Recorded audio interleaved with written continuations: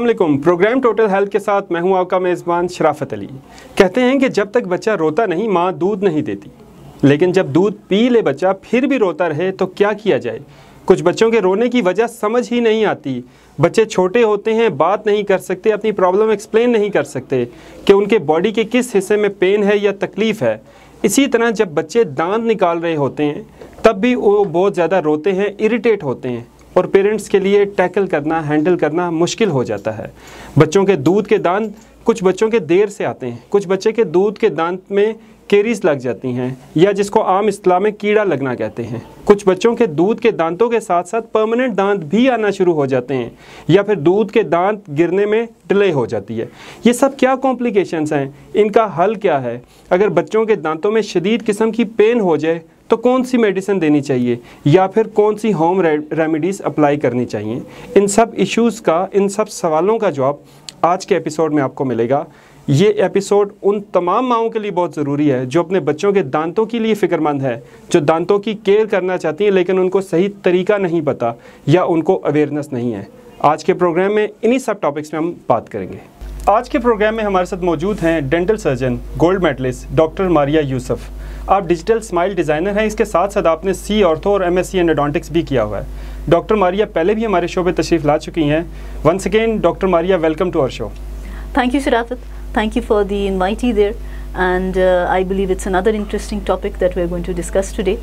जी बिल्कुल आज का जो हमारा टॉपिक है वो बहुत ही इंटरेस्टिंग है क्योंकि ये बच्चों से रिलेटेड है ये उन बच्चों से रिलेटेड है जो बात नहीं कर सकते अपना प्रॉब्लम एक्सप्लेन नहीं कर सकते तो जो जो छोटे बच्चे होते हैं उनमें जो दूध के दांत हैं उनके साथ जो मसाइल दरपेश होते हैं या केरीज लग जाती हैं उनको कैसे हैंडल करना चाहिए सबसे पहले तो ये है कि जो हमारे छोटे बच्चे होते हैं उनमें दूध के दांत जो हैं वो इरप्ट करना शुरू कर देते हैं छः महीने के बाद। सो कैविटीज़ को अवॉइड करने के लिए सबसे पहले जो है लाजमी तौर पे जब छः महीने का बच्चा होता है हो सकता है छः महीने या कुछ उससे दो तीन महीने पहले या कबल या पेशतर जो है प्राइमरी टीथ जो है वो इरप्ट करें। सो so, सबसे पहले तो पेरेंट्स पे जो बच्चा है वो डिपेंडेंट होता है for the hygiene soft toothbrush market में एज के हिसाब से अब अवेलेबल हैं टूथब्रशेस जिनको जो है पेरेंट्स परचेज करके बच्चे का जैसे ही दांत इरप्ट होता है, एक दांत की इरप्शन से ही उसकी केयर स्टार्ट करनी चाहिए। बच्चा जो है, वो पेरेंट्स पे डिपेंडेंट है टूथ ब्रशिंग मैंडेटरी अगर बच्चा फीडर ले रहा है तो ज़्यादा केयर की ज़रूरत है बिकॉज़ ऐसे बच्चों में कीड़ा ज़्यादा जल्दी लग जाता है। स्पेशली दूध में अगर चीनी मिला के दी जाए। So with the sugar sugar के साथ फिर ये हो जाता है दैट कैविटी स्टार्ट्स अर्लियर और बैक्टीरिया जो है वो दांत पे चूँकि चीनी की तय जम जाती है। बैक्टीरिया जो है वो जल्दी अटैक कर लेता है और कैविटी जो है वो जल्दी स्टार्ट हो जाती है। सो so, दांतों को रेगुलरली क्लीन करना वो पेरेंट्स का काम है छोटे बच्चों में। बच्चे खुद से नहीं कर पाते। जब बच्चे में थोड़ी समझ बूझ आती है जैसे वो स्कूल गोइंग हो जाता है तब पेरेंट्स जो हैं वो बच्चे को खुद अंडर मॉनिटरिंग जो है वो टूथब्रश करवाएँ ताकि बच्चा जो है वो रेगुलरली करे और उसके दांतों की सर्फेसिस जो हैं वो अगेंस्ट कैविटीज़ प्रोटेक्टेड रहें। जो जो जो दूध के दांत होते हैं क्या उनको भी ब्रश से ही साफ़ करना चाहिए या उसकी सफ़ाई का कोई और तरीका है? शराफत दूध के दांतों की सफ़ाई जो है वो बच्चों के लिए स्पेशल ब्रशेज़ मिलते हैं। ठीक है, जिसमें हमारी जो रूटीन के ब्रशेज़ विच एडल्ट्स यूज़ वो नहीं इस्तेमाल होते बिकॉज़ वो साइज़ में बड़े होते हैं। ब्रिसल्स उनके जो हैं, वो ज़रा डिफरेंट मटेरियल से थोड़े हार्ड होते हैं जो एडल्ट्स के लिए यूज़ किए जाते हैं। बच्चों में बिल्कुल सॉफ्ट टूथ ब्रशेज़ मिलते हैं। हेड्स जो हैं, वो भी डिफरेंट साइज़ में आते हैं अकॉर्डिंग टू दी एजेस क्योंकि बच्चे का जो माउथ है, वो फॉर्मेटिव ईयर्स में डिफरेंट साइज़ पैटर्न से गो थ्रू कर रहा होता है। सो so, इनिशियली जो है वो बच्चे की जो है बिल्कुल बेबीज़ के लिए जो है वो एक और टाइप की ब्रश आपको मिलेगा। अब मार्केट में there are lots of there lots of variety there age group के हिसाब से आपको मिल जाते हैं ब्रशेज़ सो so, आप अगर जिस एज के ग्रुप में बच्चा फॉल इन कर रहा है उसी एज ग्रुप के हिसाब से आप टूथब्रश परचेज करेंगे। सो so, ईजी होगा क्लीनिंग बिकॉज़ वो एक्सेस uh, जो है that would be simpler plus बच्चों को आप अगर आपकी बच्चे की टेंडेंसी ज़्यादा है आपको लग रहा है कि जो है कैविटी ज़्यादा लग रही है बच्चे के दांतों पे despite your care there so ऐसे बच्चों के लिए फिर हम रूटीन में डेंटल सीलेंट्स होते हैं वो हम पेरेंट्स को रिकमेंड करते हैं कि उनको आप लेके आएँ डेंटल ऑफ़िस में डेंटल प्रैक्टिस में और एक स्पेशल uh, मटेरियल से हम uh, को सील आउट कर लेते हैं ताकि बच्चे प्रोटेक्टेड रहें कैविटीज़ के अगेंस्ट अच्छा छोटे बच्चों में कैविटीज़ होती क्यों हैं? और इस हवाले से अगर हम बात करें बॉटल नर्सिंग की या नर्सिंग बॉटल केरीज जो होती हैं जो कि आम टर्म है सबको इसके बारे में पता होता है ये क्यों होती हैं और इससे बचाव कैसे मुमकिन है? शराफत ये बहुत अच्छा आपने क्वेश्चन किया। होता ये है कि जब बच्चा व्हेन द जब बच्चा जो है फीडर पे डिपेंडेंट हो जाता है as a parent when you give the child a bottle there to feed on to तो वो बच्चा जो है, उसकी हैबिट डेवलप हो जाती है। बच्चा जो है, वो सोता भी नहीं है फीडर के बगैर बिकॉज़ बच्चे की एक हैबिट डेवलप हो जाती है। सो वट हैपन्स इज़ कि रूटीन में बच्चे फीडर्स या सूदर्स ले के सोते हैं and overnight specially as I told you अगर चीनी मिला के दूध दी जाए बच्चे को ताकि वो फ्लेवर प्रेजेंट हो अक्सर पेरेंट्स देते हैं for the fine a test there and उस टेस्ट के साथ जो है बच्चा जो है वो रात को सारी रात बॉटल पकड़ के सोता है। एंड वो जो है एक तय जम जाती है, जैसे मैंने आपको कहा चीनी की, दांतों के ऊपर। जो फिर डिग्रेड हो जाती है over the long hours of night and degradation के साथ बैक्टीरिया जो है वो इन्वेट कर लेता है। इंजाइम्स रिलीज़ होते हैं जो दांत के सरफेस को डिग्रेड कर लेते हैं। एंड एक कैविटी या खोड जिसको आप कहते हैं वो बन जाती है दांतों में। सो so, ये जो है सबसे कॉमनेस्ट चीज़ है एंड ये फिर सिर्फ़ एक दांत तक नहीं महदूद रहती ये आपके बच्चे के ओवरऑल जो है we call it also rampant caries because बहुत जल्दी ये प्रोग्रेस कर जाती है फुल माउथ में और तकरीबन सारे दांत या मैक्सिमम नंबर के आपके टीथ जब इन्वॉल्व होते हैं तो तब इस कंडीशन को हम नर्सिंग बॉटल केरीज या रैम्पेंट केरीज कहते हैं due to continuous use of the bottle there and जब बॉटल कंटिन्यूसली यूज़ किया जाता है स्लो स्टिमुलेशन जो है वो रहती है हर वक्त against the ingress of bacteria because the medium is there एक मीडियम अच्छा, ऐसे बच्चों में जब केरीज डेवलप हो जाती हैं तो उनका ट्रीटमेंट क्या है? मतलब घर पे कौन सी होम रेमेडी यूज़ की जा सकती है या कोई मेडिसिन बच्चों को दे सकते हैं या नहीं दे सकते? मेडिसिन इज़ बेसिकली बच्चों में जो पेन किलर्स होते हैं या एंटी इन्फ्लेमेटरीज वो हम तब रिकमेंड करते हैं अगर बच्चे को कोई पेन हो रही हो। अमूमन बच्चे को जिस स्टेज पे पेन शुरू हो जाती है तो वो वो स्टेज होता है जब कैविटी इतनी डीप प्रोग्रेस कर गई होती है कि पल्प जो अंदर दांत के अंदर जहाँ पे हिस्स आपकी होती है ना उसको एक चेम्बर हम उसको होता है जिसको हम पल्प चेम्बर कहते हैं जहाँ पे ब्लड सप्लाई और नर्व सप्लाई जो है वो मौजूद होती है दांत के अंदर। सो so, जब कैविटी उस पॉइंट तक पहुँचती है आपकी तो बिकॉज़ वहाँ पे आपकी नर्व्स को जो है इन्वेट कर दिया हुआ होता है कैविटी ने तो पेन शुरू हो जाती है बच्चे को।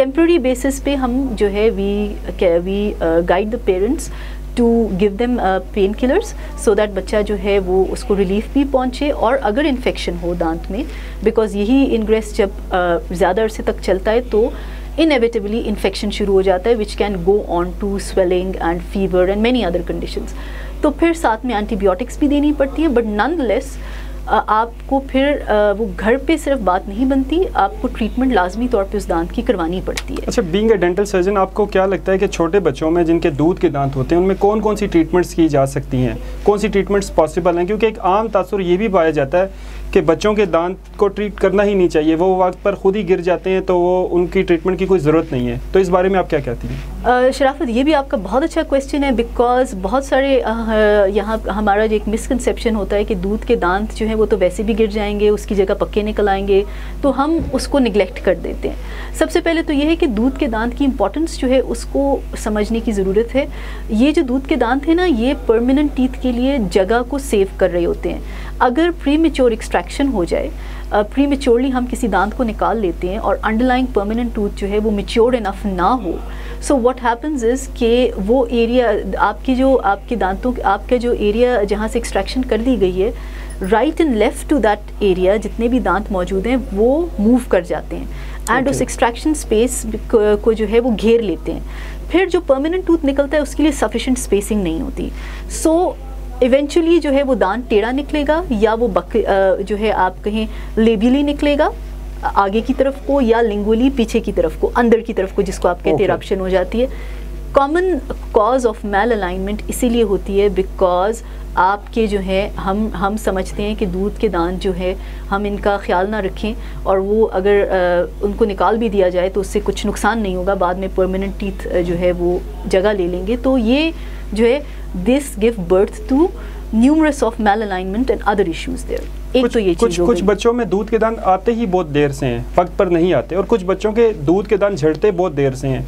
इनकी क्या वजह ये क्या कॉम्प्लिकेशन है? जहाँ पे बच्चों की जो होती है ना आपने कहा कि अगर दूध के दांत झड़ते लेट हैं तो उसकी भी रीज़न यही होती हैं कि कहीं पे जो है जो परमानेंट टूथ बर्ड है वो बहुत जल्दी या टाइम पे जो है मेच्योर इनफ नहीं होता और प्रेशर नहीं दे पाता। प्राइमरी टूथ की रिजॉर्प्शन के लिए। सो so, वो रूट जब नहीं रिजॉर्ब होता तो प्राइमरी टूथ जो है वो रिटेन्ड रहता है। उसको हम रिटेन डिसिडुअस टीथ कहते हैं। न्यूमरस और रीजंस भी हो सकती हैं। अगर पेरेंट्स के एंड से गाइड जो मैं आपको गाइड करूँगी वो ये है कि आपको अगर लग रहा है कि बच्चे का दान जो है वो टाइम पे नहीं गिर रहा और आपको ऐसा लग महसूस होने लगा है कि इसका जो सब्सिक्वेंट टूथ जो जिसने इसकी जगह लेनी है permanent tooth that is erupting in a malaligned position तो आप फौरी तौर पे डेंटिस्ट के पास जाएँ। अक्सर हम टाइमली प्राइमरी टूथ को एक्सट्रैक्ट कर देते हैं और परमानेंट टूथ जो है वो खुद ब खुद उस जगह पे with the push of the tongue वापस आ जाता है। So it you can timely visits अपने बच्चे का जो चेकअप है, सिर्फ़ इस बात पे आप ना रहें कि जी दूध का दांत है तो हम बच्चे को डेंटिस्ट के पास ले जाने की ज़रूरत नहीं है। आपको ज़्यादा ज़रूरत है। आप छः महीने से बच्चे को दिखाना शुरू करेंगे तो आपकी बहुत सारी ऐसी कंडीशंस जिनको हम शुरू में ट्रीट कर लेते हैं वो भी ट्रीट ट्रीट हो जाएँगी और अगर कोई ऐसी कंडीशन नहीं है तो हम प्रिवेंट कर सकते हैं cavities and other you know disease ji doctor Maria मैं ये भी जानना चाहूँगा कि जो छोटे बच्चे जिनमें दूध के दांत हैं उनमें कौन सी कॉमन ट्रीटमेंट्स पॉसिबल हैं? और क्या आरसीटी जो रूट कनाल ट्रीटमेंट की हम बात करते हैं क्या वो भी छोटे बच्चों में मुमकिन है या नहीं? शराफत सबसे पहले तो जो कॉमन ट्रीटमेंट्स आ जाती हैं उनमें फिलिंग्स उनमें पल्पोटमीज़ उनमें स्केलिंग पॉलिशिंग उनमें space maintainers and then as we go towards mix dentition stage या उससे कहीं पे अगर शुरू शुरू में ही हमें लगे कि स्केलेटल डिस्क्रिपेंसीज हैं तो ऑर्थोडोंटिक ट्रीटमेंट भी हम शुरू कर लेते हैं। प्लस कुछ प्रोस्थेटिक ट्रीटमेंट्स जिनमें हम क्राउन्स वगैरह का इस्तेमाल करते हैं, वो भी हम बच्चों में, छोटे बच्चों में शुरू कर लेते हैं। एंड uh, उसके अलावा जो आपने आरसीटी की बात की आरसीटी इज़ देयर जो छोटे बच्चों में की जाती है बट आरसीटी जो है एडल्ट uh, से वो मुख्तलिफ़ किस्म की आरसीटी होती है। इसमें जो है हम फिलिंग uh, के लिए जो परमानेंट फिलिंग ऑफ़ रूट होती है उसमें हम रिजॉबेबल मटेरियल्स इस्तेमाल करते हैं। और आरसीटी जो है वो सिर्फ़ लास्ट रिजॉर्ट पे हम करते हैं। अमूमन बच्चों में फिलिंग्स या पल्पोटमी से जो रिज़ल्ट हम मांग रहे होते हैं वो अचीव हो जाता है। And we do not want के टूथ की रिजॉर्प्शन में इंटरफेरेंस हो ताकि दांत टाइम से झड़े भी और अंडरलाइंग दांत जो है वो टाइमली uh, इरप्ट भी हो। So for that what we do is कि अगर हम आरसीटी करते भी हैं बच्चे की uh, कहीं पे वी रिक्वायर कि हमें रूट की डीप क्लीनिंग की ज़रूरत होती है तो हम फिलिंग ऐसे मटेरियल से फिर करते हैं कि दांत की रिजॉर्प्शन में कोई खलल ना आए। अच्छा मैं ये जानना चाहूँगा कि जो छोटे बच्चे हैं जिनके दूध के दांत हैं उनको कितना फ्रीक्वेंट विज़िट करना चाहिए डेंटिस्ट को? एक बात दूसरी बात मैं ये जानना चाहूँगा कि एक आम तासुर इसमें कन्फ्यूज़न है कि जो दूध के दांत है वो किस एज में झड़ जाने चाहिए और किस एज में परमानेंट टीथ का आना ज़रूरी है? इस हवाले से क्या कोई केयर का अमल दखल है या नहीं? अच्छा सबसे पहले तो जो आपने कहा कि अ, किस एज में जो है दांतों को झड़ना चाहिए? ये आपका एक क्वेश्चन था। सो so, दांत की झड़ना और निकलना जो है ये साइमल्टेनियसली चलता है। आइडियल एज जो है दांत की टूथ की इरप्शन की that is actually six years of age six. Years of age में आपके जो सामने के दांत हैं जिसको इंसाइजर्स कहा जाता है और साइड के जो आपके मोलर्स हैं वो इरप्ट हो जाते हैं। बट जो झड़ना है वो बाज़ बच्चों में जल्दी भी झड़ जाते हैं दांत और फिर उस हिसाब से जो है जल्दी निकल भी आते हैं। आइडियल एज छः साल है बट कहीं बच्चों में जल्दी कहीं बच्चों में लेट भी निकल आते हैं। सो so, जहाँ तक ताल्लुक़ है बच्चों की विज़िट्स का सिक्स मंथली विज़िट जो है वो तो लाजमी तौर पे बच्चों को आपने करवानी ही है। बट अगर कहीं पे डेंटल इश्यूज़ होते हैं तो फिर आपके डेंटिस्ट जो हैं, वो आपको गाइड करेंगे इस चीज़ के लिए कि बच्चे को आपने नेक्स्ट विज़िट के लिए कब लाना है ट्रीटमेंट प्लान के लिए कितने विज़िट्स और कितने फ्रीकुंट विज़िट्स चाहिए। Simple checkup to keep a check on all the teeth and the surrounding growth of the skeletal tissues and musculature there उसके लिए छः महीने का विज़िट जो है वो काफ़ी होता है सफिशेंट होता है। छः महीने के बाद आप बच्चे को लेके आएँ और एक विज़िट ज़रूर करवाएँ। और उसी में आपको सारी गाइडेंस जो है रिगार्डिंग द नेक्स्ट विज़िट वो आपको मिल जाएगी। अच्छा कुछ बच्चों के दांत टेढ़े होते हैं या क्राउडेड निकल रहे होते हैं, क्या इसकी वजह जो है वो दूध के दांतों की केयर ना करना है? दूध के दांतों की कितनी इंपॉर्टेंस है? और इसको क्यों पेरेंट्स इतना फॉर ग्रांटेड लेते हैं? बिल्कुल दूध के दांत जो हैं, अगर तो उनकी केयर नहीं की जाएगी कैविटीज़ जल्दी होंगे या वेयर आउट्स जल्दी होंगे, बच्चों के दांत जल्द नहीं झड़ेंगे टाइम पे तो ऑब्वियसली ऑर्थोडोंटिक इश्यूज़ जो है, वो अराइज करते हैं। कहीं पे जेनेटिक्स भी काम कर रोल प्ले करती है बिकॉज़ आपके जो है, हो सकता है आपके जॉज जो हैं अपर जॉ लोअर जॉ जो है, वो सफिशेंटली ग्रो ना कर रहे हों और फिर दांत जो निकल रहे हैं, उनके लिए जगह नहीं है सफिशेंट बड़ा कॉमन एक ये सीन होता है क्लिनिकल सीन हमारे लिए, जो हम देखते हैं। तो दांत जो है वो मेलालाइन निकलते हैं। उनके लिए सफिशेंट स्पेस नहीं होता। सो so, लाजमी तौर पे जो है अगर आप बच्चे क्या रेगुलर चेकअप करवा रहे हैं तो we can always catch up on to these things plus habits होती हैं बाज़ बच्चों की। थम सकिंग की हैबिट है बॉटल होल्डिंग जैसे मैंने आपको बताया। टंग थ्रस्ट की हैबिट डेवलप होने शुरू हो जाती है। सो so, इन हैबिट्स को हम टाइमली कंट्रोल करते हैं। फिंगर सकिंग एंड uh, हमारे पास ऐसे अप्लाइंसेस भी होते हैं जो बच्चों की इस हैबिट्स को ब्रेक करने में है, मदद देती हैं ताकि जॉस की ग्रोथ जो है वो ऑप्टिमली हो और दांत जो है वो अलाइन ऑप्टिमली हो। वरना फिर यह है कि दांतों की मैल अलाइनमेंट होना थम सकिंग बॉटल सकिंग के साथ अपर पैलेट पे प्रेशर पड़ता है दांत जो है वो प्रोक्लाइन हो जाते हैं। सो लाजमी तौर पे दांत आगे की तरफ़ को आने शुरू हो जाते हैं। इसलिए जो है दूधों दूध के दांतों की जो इम्पोर्टेंस है that is a lot there आप अगर कैविटी लगेगी और आपने जो है उसको फिलिंग नहीं करवाई जैसे मैंने आपको कहा अनटाइमली एक्सट्रैक्शन हो गई तो आर्ट स्पेसिस क्लोज डाउन होने लगते हैं। आपको स्पेस मेंटेनर देना पड़ता है। कहीं पे हम दांत की कैविटी की फिलिंग करके ऊपर क्राउन्स प्लेस कर देते हैं, ताकि वो as a natural space maintainer वो स्पेस मेंटेन रहे पक्के दांतों के लिए कि वो अपनी जगह पे सही तौर पे निकले। अच्छा अगर हम परमानेंट दांत की बात करें तो परमानेंट दांत जैसे ही बच्चों की आ जाते हैं तो क्या एक्स्ट्रा केयर की ज़रूरत है? क्योंकि इन्हीं दांतों ने इंसान के साथ सारी लाइफ रहना होता है और इन्हीं दांतों के साथ सारी लाइफ खाना होता है। तो शुरू में ही क्या हैबिट्स डेवलप करनी चाहिए बच्चों के, ताकि वो अपने परमानेंट दांतों की केयर कर सकें? सबसे पहले तो घर में रूटीन जैसे दिन में दो दफ़ा टूथ ब्रशिंग सुबह नाश्ते के बाद रात को सोने से पहले after your last meal dinner के बाद आप जो है बच्चे को कहें कि लाजमी तौर पे ब्रशिंग करें। और शुरू में आप खुद मॉनिटर करें, जब तक कि बच्चे की हैबिट आपको मालूम हो कॉन्फिडेंस हो कि बच्चा खुद पे कर रहा है ठीक तरीके से।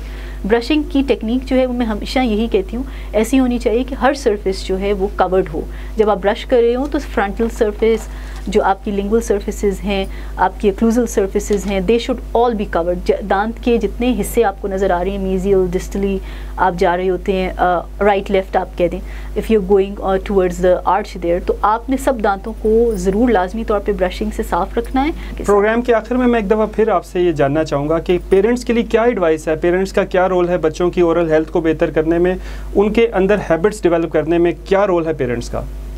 बच्चे पेरेंट्स का ये रोल है शराफत के पेरेंट्स की सुपरविज़न और पेरेंट्स की गाइडेंस जो है वो बच्चों के लिए बहुत मैंडेटरी है बिकॉज़ जैसे मैंने आपको कहा, छोटे बच्चे जो हैं they are dependent upon the parents there अगर पेरेंट्स जो है वो सुपर चेक कर रहे हैं और इनिशियली जो है ख़ुद से ब्रशिंग वगैरह ठीक कर रहे हैं, देख रहे हैं कि टाइम पे हो रही है brushing plus in between the meals अगर बच्चा जो है बहुत ज़्यादा स्नैकिंग कर रहा है तो तब आपको बच्चों में जैसे toffees chewing gum chewing gums is again something good अगर आप उसको च्यू करें टूवर्ड्स दी एंड और उसकी जो है पावर जो है वो क्लीनिंग की तरफ़ चली जाती है बिकॉज़ जितना आपके दांतों में जितने डेब्रिस होते हैं, वो चुइंगम के साथ चिपक चिपक के निकल जाता है। बट टूवर्ड्स दी एंड जब उसकी शुगरी कंटेंट ख़त्म हो जाती है मिठास ख़त्म हो जाती है। बट अगर अगर आपने जो है ख़ुद से नहीं मॉनिटर किया बच्चे की क्लीनिंग को और आप देख रहे हैं कि बच्चा बहुत स्वीट्स खा रहा है स्टिकी फ़ूड ले रहा है तो in between the two hour time you also required to clean the teeth जैसे ही बच्चे ने स्वीट्स खाई उसके बाद आप बच्चे को कहें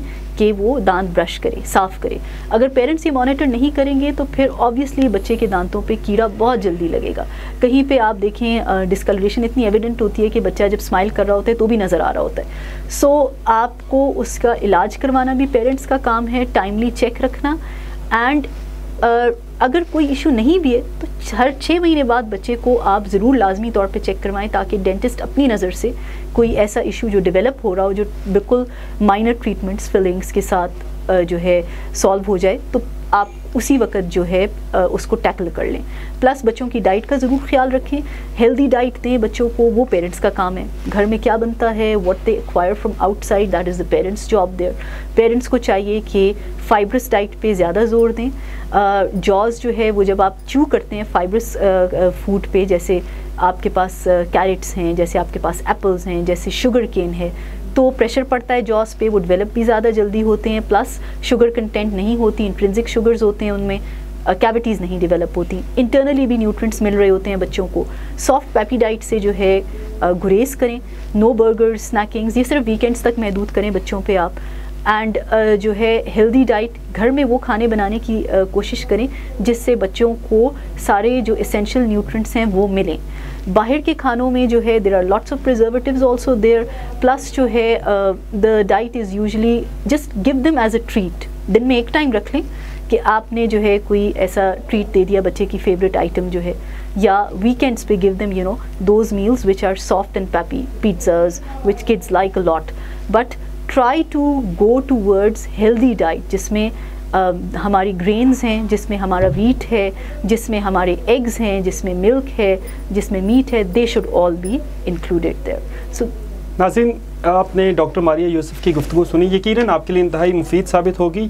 और मुझे यकीन है कि आज के बाद आप बच्चों की बेहतर केयर कर सकेंगे, बच्चों की औरल हेल्थ की बेहतर केयर कर सकेंगे और बच्चों के अंदर वो हैबिट्स डेवलप कर सकेंगे जिससे वो अपने दांतों की सफ़ाई, दांतों की सेहत का ख्याल रखें। डॉक्टर मारिया, आपने प्रोग्राम में टाइम दिया। बहुत शुक्रिया।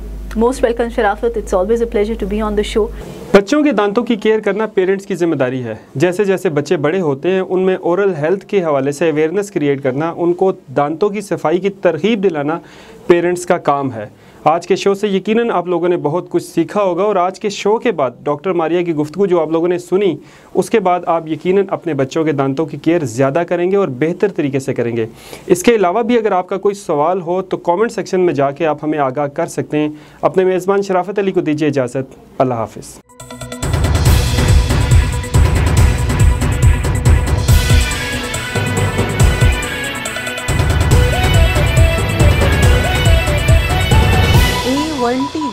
सब पे नज़र अंदर की खबर।